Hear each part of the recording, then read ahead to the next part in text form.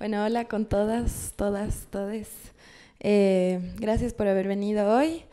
Eh, la canción que vamos a grabar se llama La Hierba y es una canción que la compuse usando un poema de Violeta Luna, que es una poeta ecuatoriana.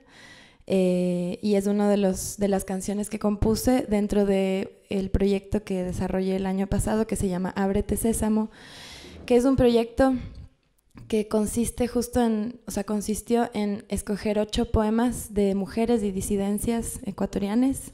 Este proyecto también, eh, un poco lo que yo quería hacer eh, era tratar de armar equipos mayoritariamente femeninos, porque en mi experiencia casi siempre he trabajado mucho más con, con hombres que con mujeres, eh, así como pasa en tantos, en tantos oficios, en tantos trabajos, círculos. Juntas hemos construido espacios en donde estamos en confianza, eh, sabemos que no estamos compitiendo las unas con las otras, eh, que no estamos siendo juzgadas o puestas a prueba, siempre con libertad de, creación. Eh, yo no es que he sido la jefa que les digo a todas qué hacer, sino más bien quiero que cada una de las mujeres que ha sido parte de, de mi proyecto, de el proyecto, eh, ponga su, su lenguaje eh, y su creatividad, así como también ha sido en esta canción, que además la, la he montado con estas mujeres hermosas. Ella es Isadora Ponce, que es mi amiga de de infancia y que es la primera vez que tocamos juntas, es una locura. Así que, y, bueno, Samantha, que la acabo de conocer, pero que igual estamos conectadas de, muchas formas antes de conocernos. Así que, nada, creo que esto es un poco como una muestra de ese trabajo eh, que he venido haciendo con mujeres, mujeres amigas, mujeres hermanas. Esto se llama La Hierba.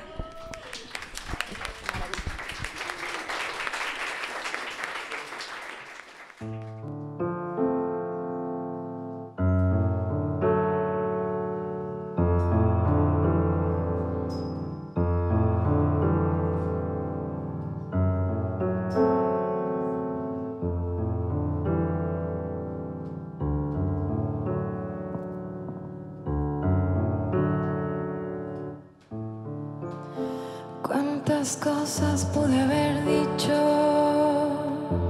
y no las dije. Cuántas horas pude disfrutar y no fueron. Cuántas letras se quedaron sueltas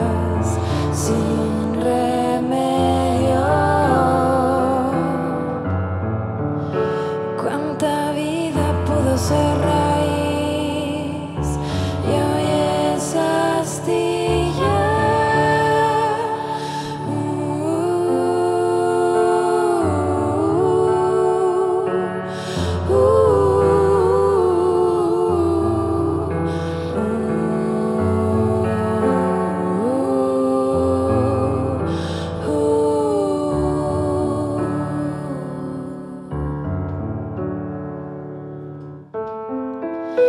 Por conservar las normas del juego.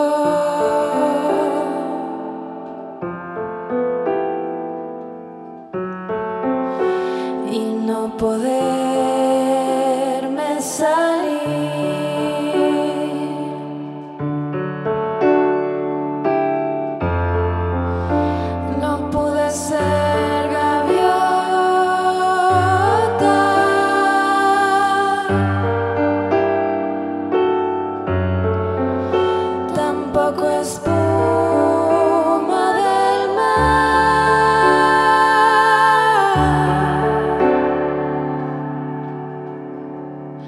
Yeah.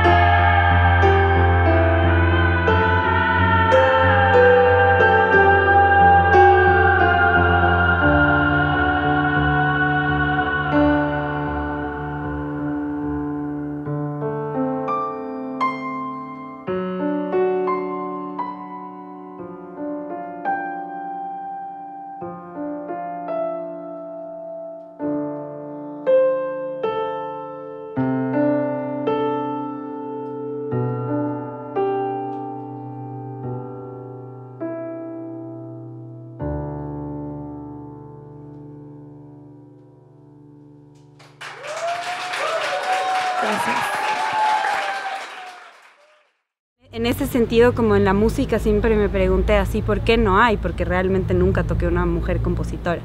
Y hasta ahora, o sea, es como muy difícil, por ejemplo, en el repertorio clásico encontrar. Entonces es como, sí, como en realidad sí hemos creado, pero también hemos creado para mí desde, desde lo privado.